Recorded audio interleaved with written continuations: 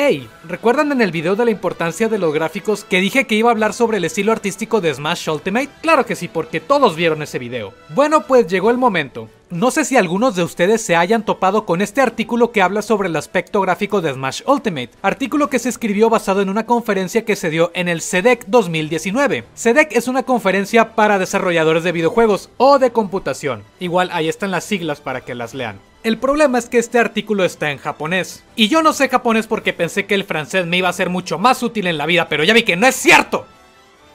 Pero bueno, para traerles esta información necesitaba traducir este artículo, y yo sé que seguramente esto ya lo hicieron, siendo una de estas personas Push Dustin. Para los que no lo conozcan, Push Dustin ha hecho un increíble trabajo de investigación para canales como Did You Know Gaming y muchas otras cosas más. A él le debemos muchas de esas curiosidades de videojuegos que conocemos, solo que él lo tradujo al inglés, por Twitter. Y aparte de que yo quiero llevar esta información en español para toda mi bandita latina allá afuera, quería aportar unos cuantos comentarios desde mi experiencia trabajando en el aspecto gráfico de la industria de los videojuegos. Así que para traducir este artículo le pedí ayuda al poderoso Torto Raccoon. Él habla muy buen japonés, así que tengan por seguro que esta es una traducción de calidad.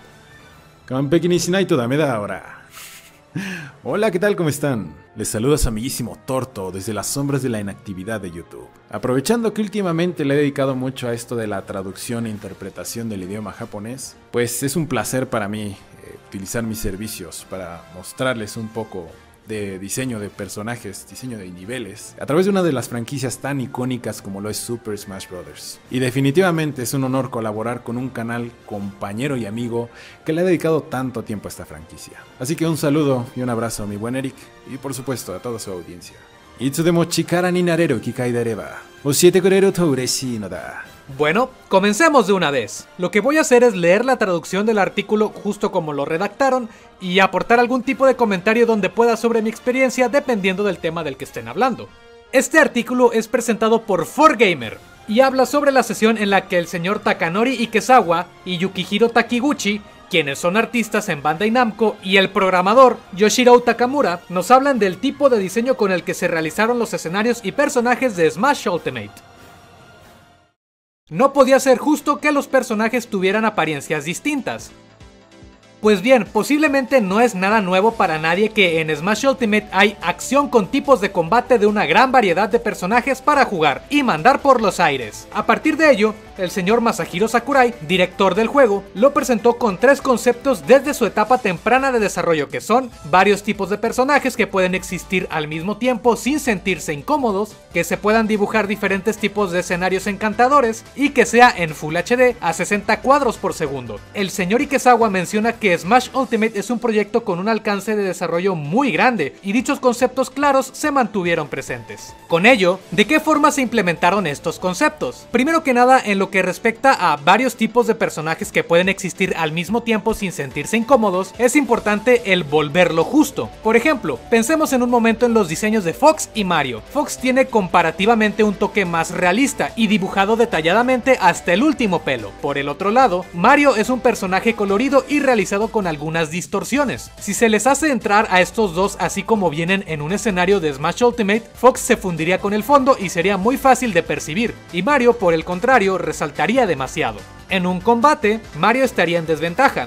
Sobre todo en la serie de Smash Bros. se suelen enfocar los ataques hacia los personajes más vistosos. Para ello, es necesario que para todos los personajes se apliquen condiciones justas. Para lograr una apariencia equilibrada, el equipo de desarrollo realiza ajustes de balance de distorsión, balance de brillo y saturación y balance de sombreado y texturas. Con Fox se continuó con el ajuste de claros y oscuros de sus sombras, se mitigó la cantidad de información en su pelaje para dar un diseño con más peso en su silueta que en sus detalles, y con Mario se aumentó el retrabajo, ajustándolo para que diera un aire de tonos más relajados. Resumido, se estableció un promedio de qué tantos detalles debe de tener un personaje. Si el personaje es muy simple, agrégale más detalles, pero tampoco exageres. Si el personaje tiene muchos detalles y tiene una tendencia muy realista, quítale detalles y simplifícalo para que esté al nivel. Aun con eso, si se le diera el mismo estilo a todos los personajes, se perderían sus características individuales. Para Ultimate, comentan que el señor Sakurai dirige para que con los personajes, viéndolos uno a uno, se pueda saber hasta qué grado pueden sacrificar dichas características y hasta qué grado podrían conservarlas. Además, en la etapa temprana de desarrollo de Ultimate, el señor Sakurai dio algunos tópicos que servirían de apoyo en la construcción de diseños. Se trataba de realizar imágenes 2D de escenarios de combate donde peleas entre Link y Mario tuvieran lugar. Además de tener complexiones o distorsiones diferentes,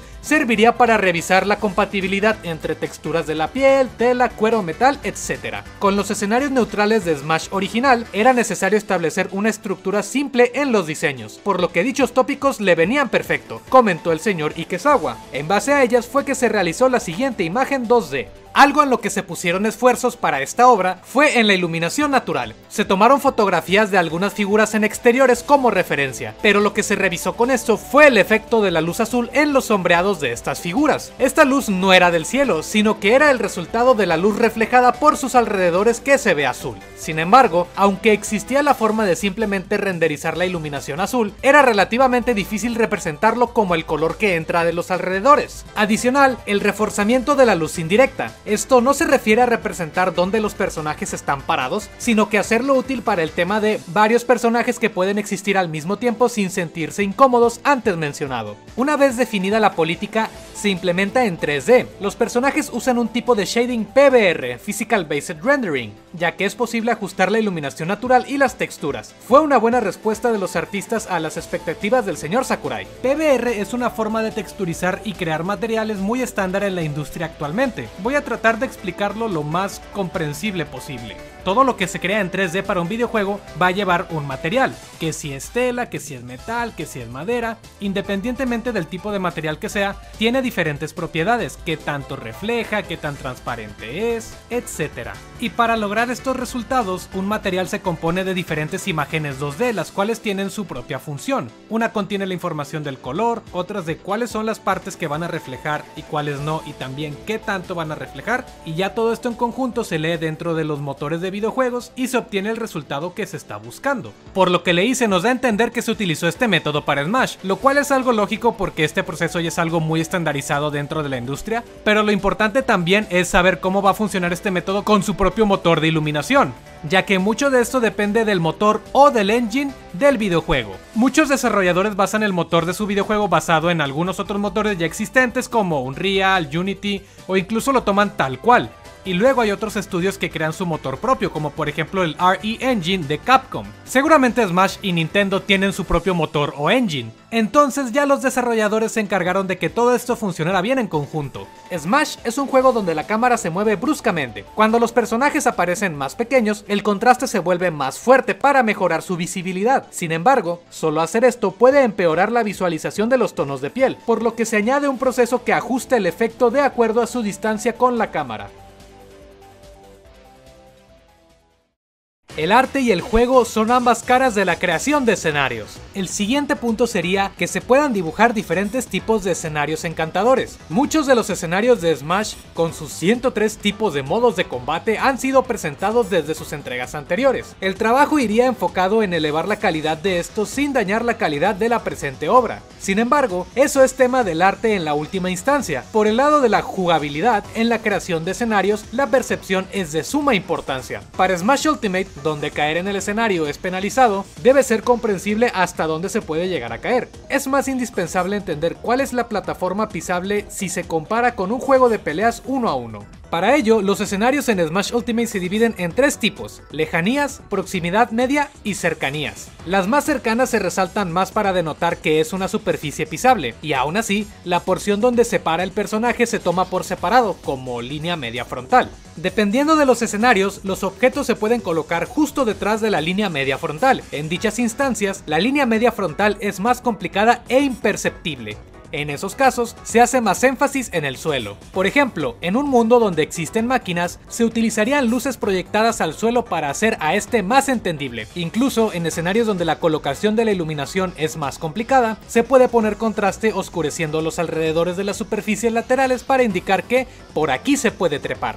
En Smash Ultimate es esencial distinguir el ataque y la defensa, y la iluminación lo vuelve distinguible. Según el escenario, los artistas conscientes de que la luz puede ser invasiva, luces imprescindibles para dar énfasis. También hay que mencionar que la cámara está rotada a 30 grados para que se pueda ver todo de una mejor forma. Los 30 grados de ángulo de visibilidad en muchos casos se deben igual a un tema de visibilidad. A los 40 grados, los personajes podrían ser ocultos por otros elementos o equivocarse en la forma del terreno o las distancias. Se presentaron igualmente puntos importantes en la construcción de escenarios originales de Smash Ultimate. El primero es construir lugares muy visibles. En Ultimate se deben construir los escenarios para ser visibles desde la superficie frontal con la cámara alejada. Aparte, incluso siendo un mundo ficticio, la combinación de objetos de diferentes épocas mezcladas puede sentirse incómoda, por lo que el segundo punto sería la uniformidad de épocas y culturas. El tercer punto es la composición. En la composición existen tres elementos, omisión de espacios, asimetría y desbalanceo. En la omisión de espacios,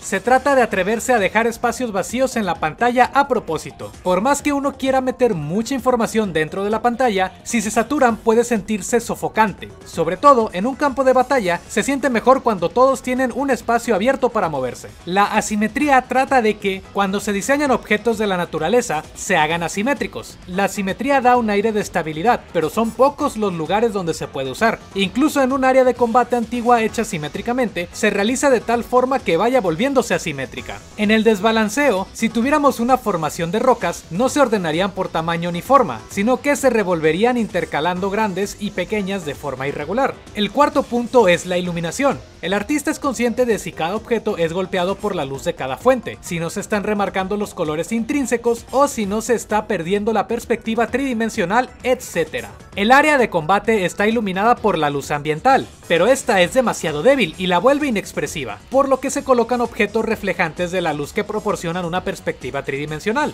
El quinto punto es sobre la diferencia entre texturas. Dentro del juego hay texturas largas y amplias, pero preservar la uniformidad en ellas es algo antinatural, como si fuesen productos industriales recién fabricados. Para ello, se imagina desgaste a través del tiempo, manchas e imperfecciones. Es válido añadir ese tipo de efectos.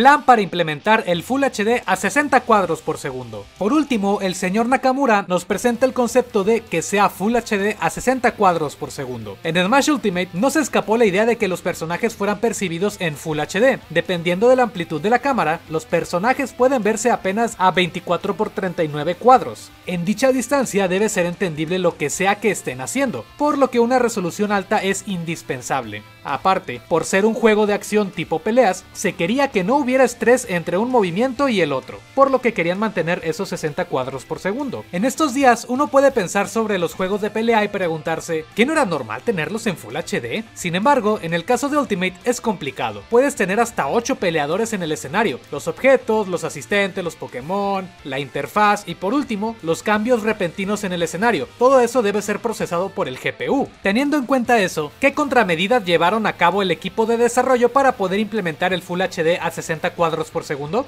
Para empezar, se consideraron las capacidades y el desempeño del hardware del Nintendo Switch. Recibieron la indicación de Sakurai de portear Super Smash Bros. Brawl tal como está al Switch para saber a qué grado podrían tomar el reto, lo cual les fue sumamente útil. Aunque se hayan tomado distintas contramedidas que suenan muy raras, había algunas escenas que no podían mantener los 60 cuadros por segundo. Para ello, se estructuró Ultimate de tal forma que pueda cambiar dinámicamente la resolución de acuerdo a la carga de la GPU. Con hasta 4 luchadores se aplica la resolución más alta, y con 5 luchadores o más va cambiando la resolución en 5 pasos. Vaya, de 5 resoluciones que hay, la más alta es la que maneja 4 jugadores. Si ya hay más, esa resolución va bajando hasta 1, 2, 3 o 4 niveles, pasos, resoluciones. Como se mencionó antes, Smash Ultimate es un título que reúne a personajes de diferentes propiedades intelectuales y puede llevarse a cabo gracias a la enorme planeación de sus desarrolladores, tomando conciencia de la forma minuciosa en que se diseñaron escenarios y personajes. Puede que incluso ustedes se den cuenta de otras cosas al jugarlo.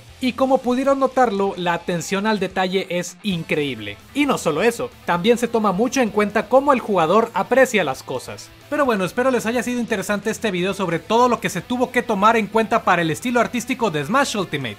No olvides darme like, suscribirte, compartirme, seguirme en mis redes sociales, sobre todo en las que empiezan con TW, que es donde estoy más activo, unirte a mi servidor de Discord y nunca olvidar que yo volveré.